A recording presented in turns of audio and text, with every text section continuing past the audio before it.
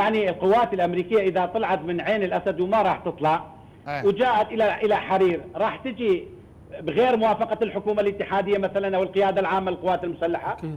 أكيد راح تجي بتنسيق أو اتفاق مع الحكومة الاتحادية لا يعني اضعفت تجي أضعفت المفاوضات مثلاً. أضعفت المفاوضات بحيث خليت المفاوض العراقي ما يعرف شلون يحكي ثاني شيء اللي راح وجاي يتفاوض مع القوات الأمريكية الوفد العسكري العراقي لا وزير خارجية ولا بي ولا واحد كردي وزير الدفاع آه، العمليات المشتركه قيادة العمليات المشتركة هذول جاي يتفاوضون مع الأمريكان. وبرعاية خاصة من السيد رئيس الوزراء القائد العام للقوات المسلحة. زين. يعني شنو دخل الكرد في الموضوع أصلا؟ وإذا أكو أكو أكو قرار برلماني صار له أكثر من أربع سنين خلي ينفذوه يعني إقليم كردستان تنفذ قرار البرلمان لو الحكومة الاتحادية هي التي تنفذ هذه القرارات.